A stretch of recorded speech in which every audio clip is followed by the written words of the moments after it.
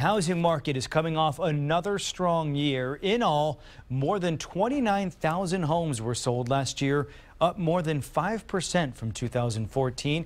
The average price also rose 8% to more than $333,000. But homes did spend more time on the market, 49 days on average, compared to 47 last year.